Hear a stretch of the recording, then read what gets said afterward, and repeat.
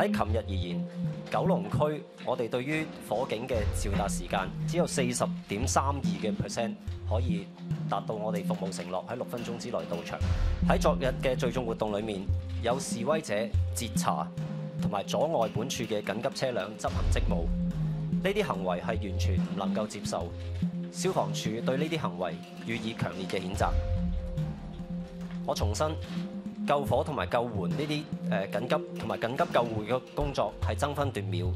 任何嘅阻礙都會危害到市民嘅生命同埋財產。